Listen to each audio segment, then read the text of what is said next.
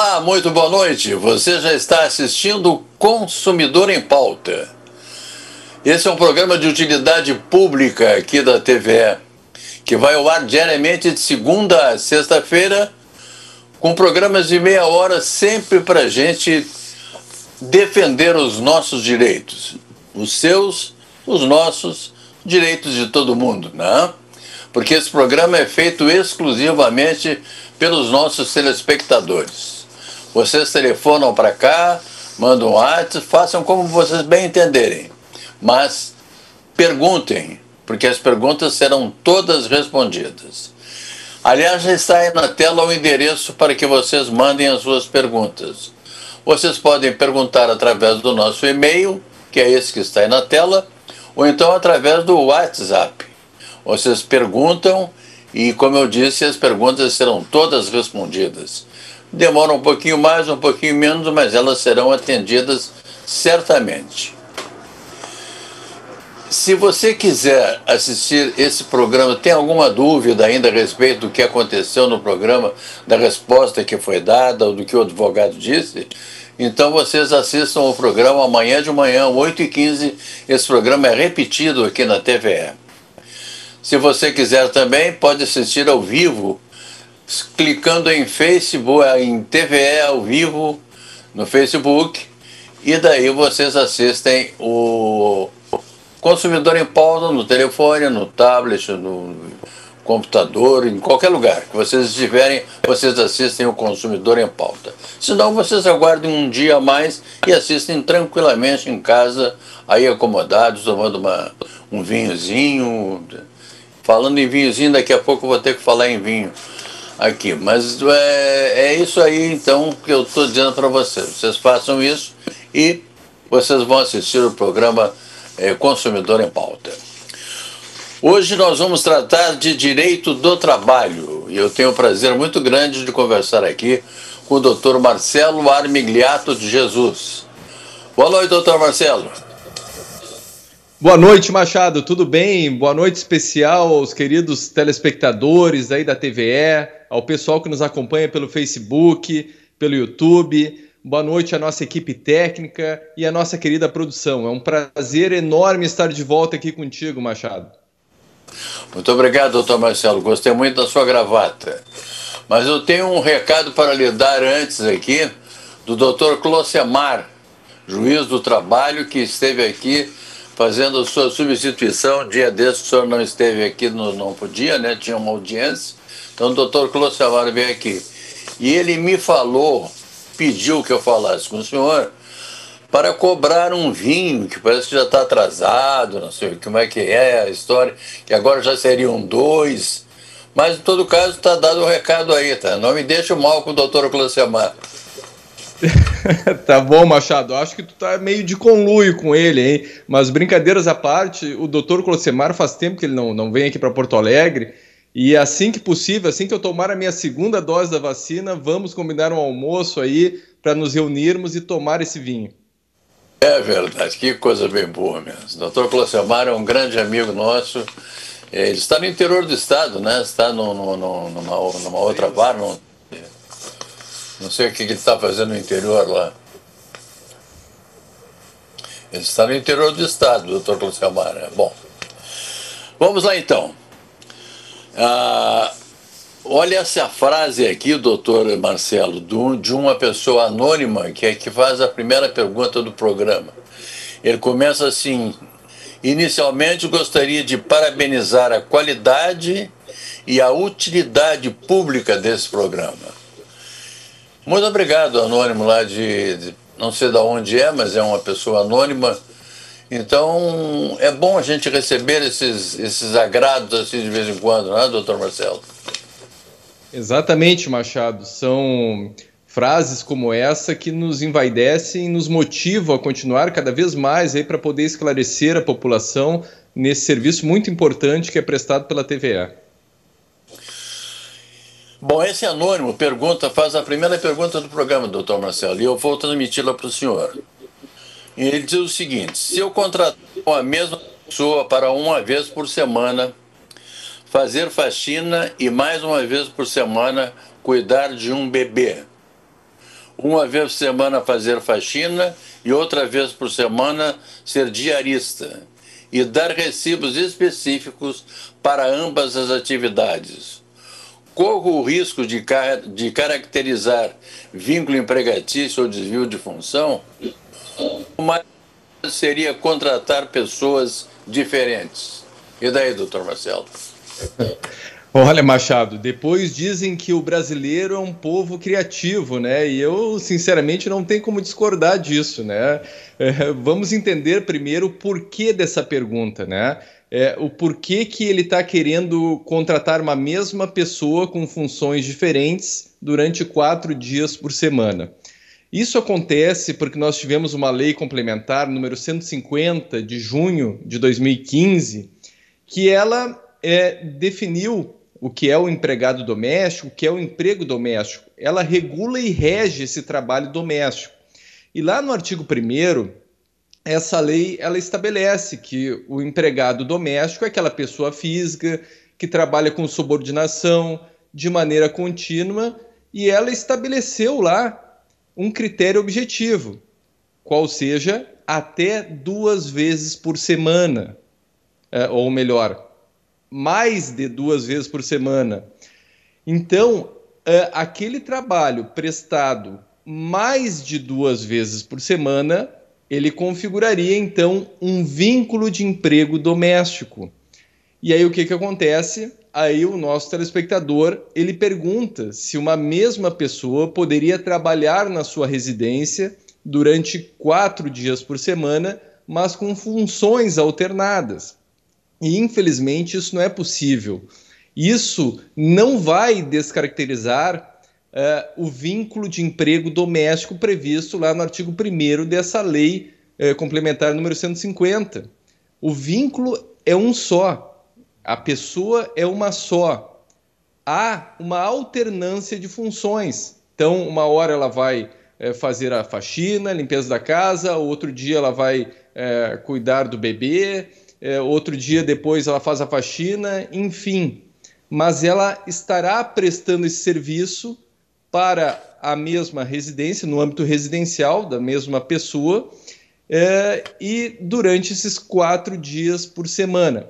Então, Machado, mais correto nessa situação seria realmente a assinatura da carteira, o reconhecimento desse vínculo de emprego doméstico com a assinatura da carteira e aí, lá no contrato de trabalho, ele pode especificar as funções, essa alternância de funções que ele pretende. Um dia faxina, um dia cuidar do bebê, outro dia faxina, outro dia cuidar do bebê. Aí sim seria o mais correto.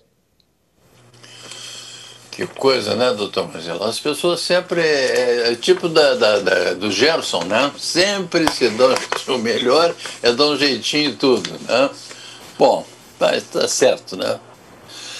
A, a próxima pergunta é do senhor Roberto, ele mora na cidade de Alvorada. Trabalho numa empresa pública de economia mista e recebo função gratificada há mais de 10 anos.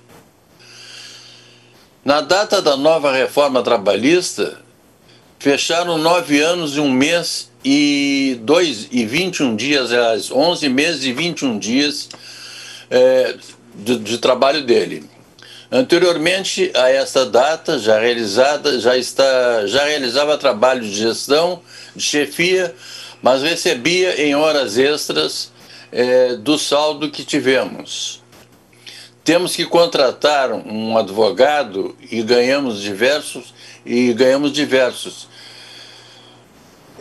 Tenho direito à incorporação de minha função gratificada? Pergunta o Roberto lá de Alvorada. A pergunta está meio confusa aqui, mas é assim mesmo, doutora. Vamos lá, Roberto. Na verdade, é uma pergunta até importante, tá? Por quê? O que, que acontece, Roberto? É, nós é, tivemos ou temos a súmula 372 do Tribunal Superior do Trabalho. É uma súmula relativamente antiga, ela é de 2005. E essa súmula diz que aquela função gratificada recebida por 10 anos ou mais, ela incorporaria ao salário, não podendo mais ser subtraída em nome de um princípio de uma estabilidade financeira. Isso é o que diz a súmula 372 TST. O problema, Roberto, é que no ano de 2017 nós tivemos então a reforma trabalhista, a Lei 13467, que ela em vigor dia 1 de novembro de 2007. E essa reforma trabalhista ela veio acrescentar o parágrafo 2 no artigo 468 da CLT, e ela diz justamente o contrário. Ela diz que não importa quanto tempo a pessoa receba a função gratificada, ela poderá ser incluída uh, e, e não incorporará o salário do trabalhador, mesmo sendo superior a 10 anos. Então, nós tivemos um marco, que foi a reforma trabalhista, e uma lei dizendo exatamente isso, que pode ser sim excluída mesmo para aqueles casos cujo recebimento se dava há mais de 10 anos. E aí, como é que fica, como é que ficou o Poder Judiciário com as suas decisões a partir de 2017? O nosso Tribunal Superior do Trabalho está um pouco dividido. Nós temos lá a quarta turma, que é reconhecida por ser uma turma que aplica a reforma trabalhista. É, ela tem entendido que a reforma deve ser aplicada, que não há direito adquirido, mesmo tendo ele recebido há mais de 10 anos. Por quê? Porque não havia direito, não havia lei. Esse, é, é, a, a manutenção desse, dessa gratificação ela se dava em função de uma súmula de uma jurisprudência, de uma súmula e não de uma lei, porque lei não havia. Então, eles entendem, a quarta turma do Tribunal Superior do Trabalho entende que mesmo uh, tendo recebido por mais de 10 anos essa função gratificada, ela poderia sim ser retirada, ser suprimida. A segunda e a oitava turma do nosso Tribunal Superior do Trabalho já tem um entendimento um pouquinho diferente. Eles dizem o seguinte: olha, se você completou os 10 anos de função gratificada até o dia 11 de 11 de 2017, você passa a ter direito à incorporação dessa, FG, certo? No caso do telespectador Roberto, me parece que ficou faltando aí poucos dias para ele completar os 10 anos. É, mas, por outro lado, ele na, na pergunta ele também diz que antes mesmo de receber a função gratificada, ele já trabalhava num cargo de confiança. Então, o que eu tenho a dizer para o Roberto é o seguinte: não será uma tarefa fácil obter essa incorporação, mas tente. Tente, porque ainda há alguma, algum fundamento no Tribunal Superior do Trabalho. Nós temos algumas turmas que entendem que, uh, uma vez você completando 10 anos antes da reforma trabalhista, você teria direito a não ter mais suprimido a função gratificada. Doutor Marcelo Almigreto Jesus, nós vamos fazer um pequeno intervalo, mas aqui é bem pequeno mesmo, o senhor sabe bem como é que é. É só o tempo da gente tomar um golinho d'água e a gente já vem. A gente vai e volta.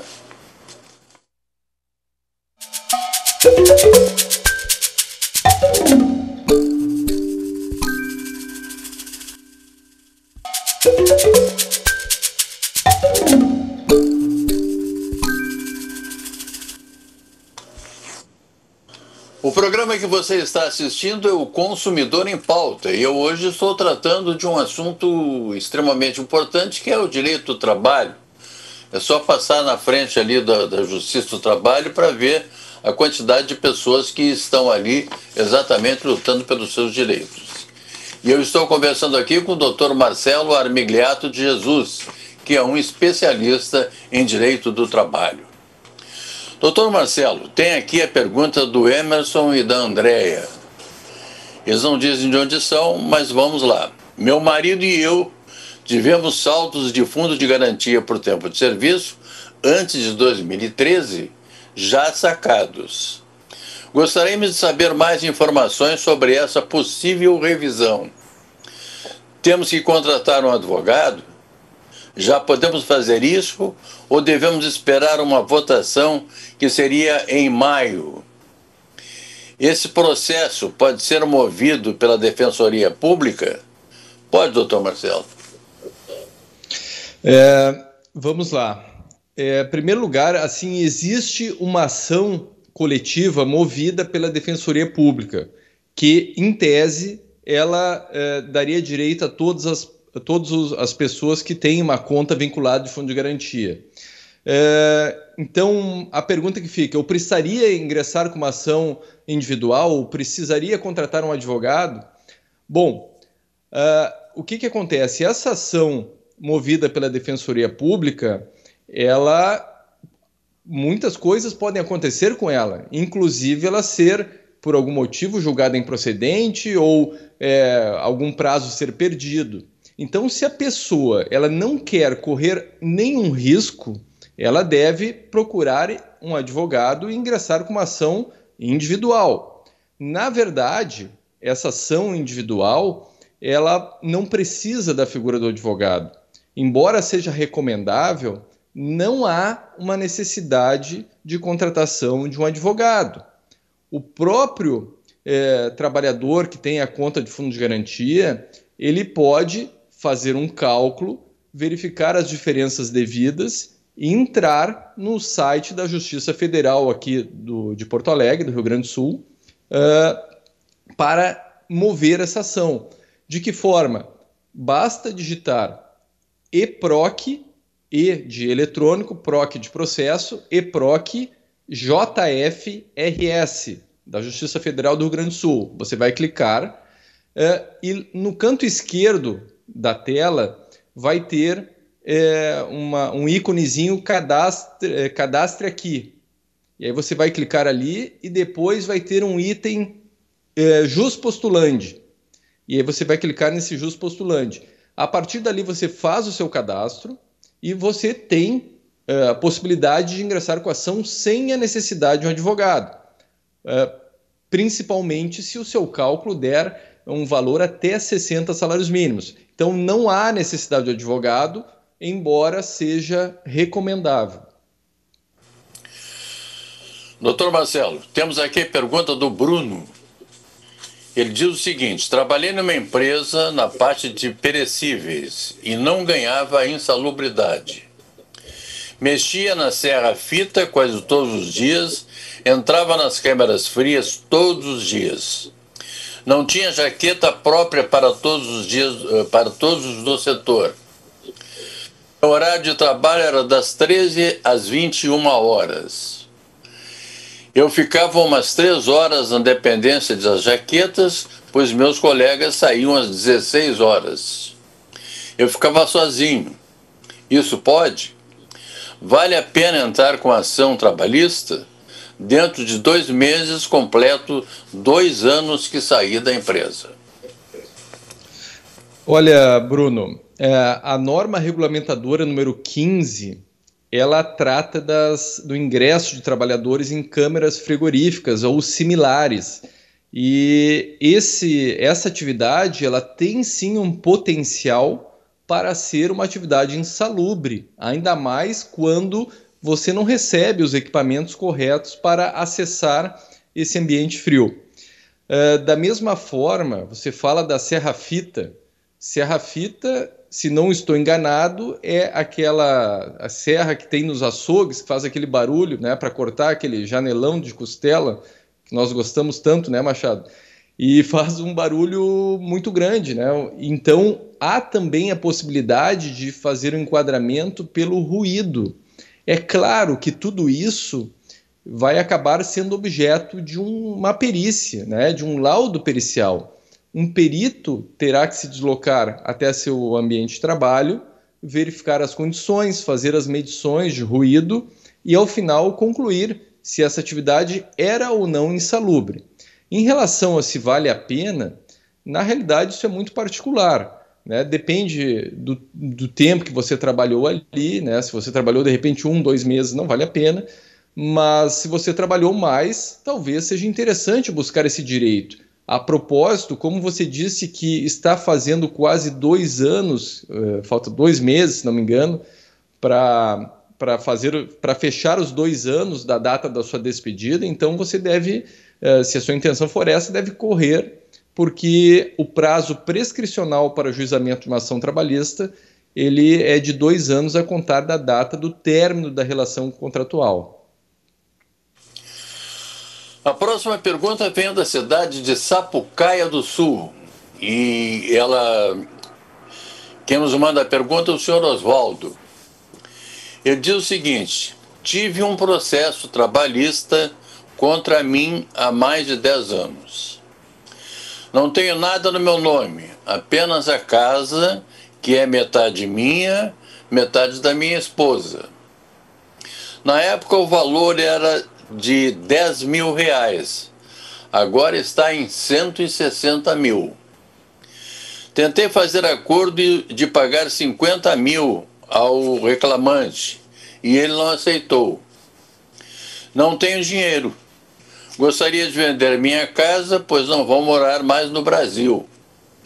Queria saber se ao vender o, din o dinheiro será bloqueado ou por ser o único bem não aconteceria nada. O que, que vai acontecer com a casa do seu Oswaldo se ele vender, doutor Marcelo? Olha, seu Oswaldo, a lei é, 8.009 de 90, ela protege o imóvel, o bem de família, utilizado pelo casal ou pela entidade familiar como residência. No momento que você fizer a venda desse imóvel e o dinheiro for parar na sua conta bancária, eu não tenho dúvida nenhuma de que esse valor poderá sim ser bloqueado. E veja bem, Machado, ele não tem muita escolha. Até porque ou ele faz a venda, se correr o bicho pega, se ficar o bicho come. Porque se ele é, não fizer a venda e digamos que ele vá morar fora do Brasil e deixar o imóvel locado aqui, esse imóvel deixou de ser é, o imóvel da residência da família. E aí ele poderia ser penhorado ele só tem essa proteção enquanto ele for de fato a residência do casal. Se o nosso amigo Oswaldo vai para o exterior, ele e a sua esposa e, e, deixa o imóvel vazio aqui ou deixa o imóvel locado aqui, é, ele poderá ser penhorado. Não é mais, não é mais uma residência do casal nessa hipótese. Então, seu Oswaldo, olha, realmente a sua situação é bastante complicada, bastante difícil é, eu sugiro que o senhor tente aumentar, então, a sua proposta.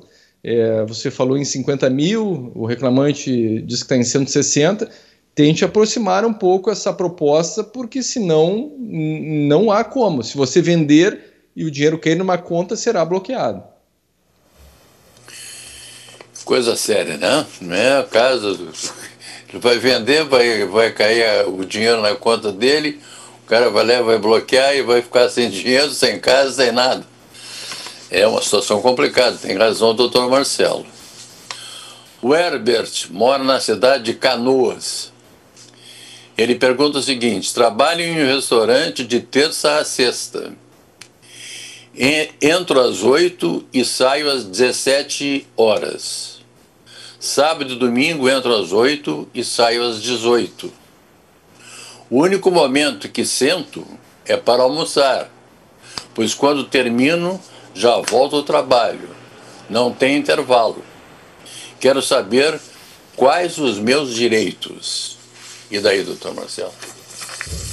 Olha, Herbert, o que, que acontece, né? De terça a sexta, o senhor relata uma jornada de nove horas. Então, nós temos quatro dias com nove horas, dá 36 horas. Aí depois Uh, sábado e domingo relata uma jornada de 10 horas. Aí nós temos mais 20 horas. 36 mais 20, nós temos uma jornada uh, semanal de 56 horas, quando o limite seria, 40, seria 44 horas. Então, uh, considerando já as horas intervalares que você não estaria gozando, você teria direito, sem dúvida alguma, a horas extras né, e horas intervalares. Agora, é bom é, verificar, né? Porque muitas vezes aparentemente há um direito às horas extras, mas o trabalhador muitas vezes já está recebendo no seu contra-cheque as horas extras. Uh, então, a princípio, o ideal seria que você procurasse um advogado da sua confiança, levasse os seus comprovantes de pagamento e o advogado confrontando esses comprovantes de pagamento com o horário que você uh, afirma estar fazendo, ele vai uh, poder apurar aí os seus direitos, inclusive em relação à jornada de trabalho. Doutor Marcelo Migliete Jesus, tive um prazer muito grande em conversar com o senhor aqui durante esse tempo para tratar de direito do trabalho. Afinal de contas, esse é um assunto extremamente importante. O senhor sabe que as portas estão sempre abertas aqui para o senhor, volte sempre. Mas não esqueça de, de acertar com o doutor Clocemar lá aquele negócio do vinho, porque fica chato, né? O cara fica me cobrando aí toda vez. Bom, mas isso aí é um outro assunto que nós vamos tratar pessoalmente depois. Muito obrigado, doutor Marcelo. Lembrando que. Pode falar, doutor Marcelo. Não, eu que agradeço, estou sempre à disposição aqui da TVE. Lembrando que nessa quarta-feira nós estaremos aqui de volta para mais um Consumidor em Pauta. A todos vocês, muito obrigado, muito boa noite e até lá!